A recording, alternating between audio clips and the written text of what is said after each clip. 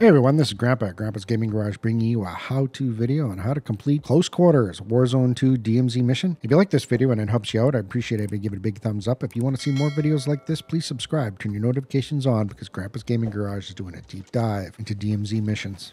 Close Quarters is a White Lotus Tier 5 DMZ mission. In this mission, there's three different parts, and I'm going to explain all three parts separately because they all have separate requirements. You must kill 50 enemies with the Benson 800 with a sawed-off mod in Mawizeh Marsh. You must kill 30 operators with the Bryson 800 with the 8-inch XRK CQB barrel. You must kill three operators with the Benson 800 Vulture Claw Breacher attached.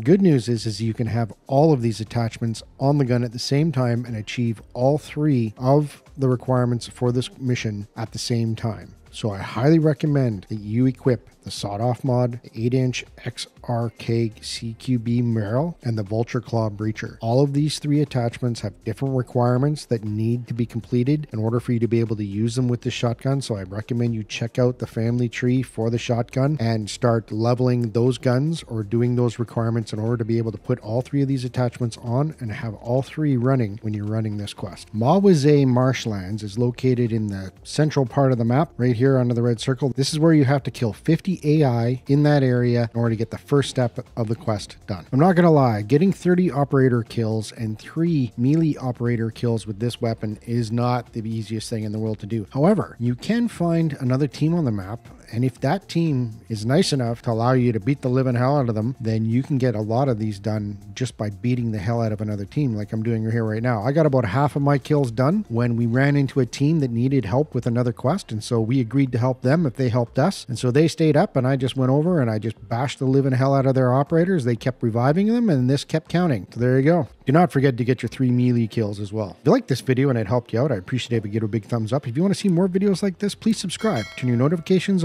because Grandpa's Gaming Garage is doing all the DMZ missions. Thanks for watching. Enjoy the game.